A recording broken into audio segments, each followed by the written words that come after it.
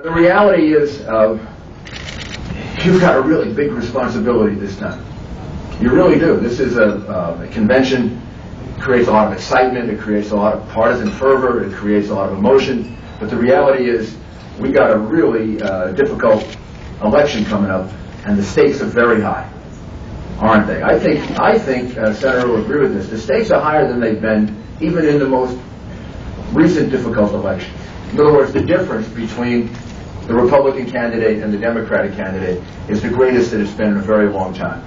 And the difference in all the areas that are the most important to us, the issues, high taxes or lower taxes, a lot of government spending or reduced government spending, being able to have uh, a trade policy that expands us or one that's going to narrow us. And the differences on national security are even more immense and more important, and the stakes are even are even higher. And the uh, preparedness for being president and the judgment displayed on either side. The gap is tremendous.